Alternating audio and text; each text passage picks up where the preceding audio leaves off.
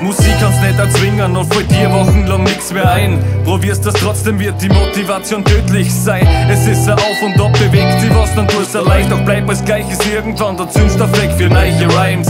Clario ist in der Hip-Hop-Szene längst kein Unbekannter mehr. Für sein neues Video zum Song Astronaut hat der Rapper aus St. Stephan den Brucker Hauptplatz als Location gewählt. Naja, wir werden beim Song schon ein bisschen auf die Vermögensverteilung in Österreich, aber auch weltweit ein bisschen Bezug nehmen.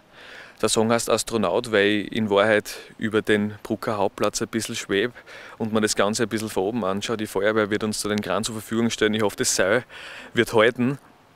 Ähm, zu inhaltlich will ich glaube ich noch nicht preisgeben, sonst ist ja überhaupt keine Überraschung mehr, was im Lied wirklich gesagt wird, aber, aber wir werden uns zum Teil vielleicht ein bisschen rauslehnen hin und wieder. Ja.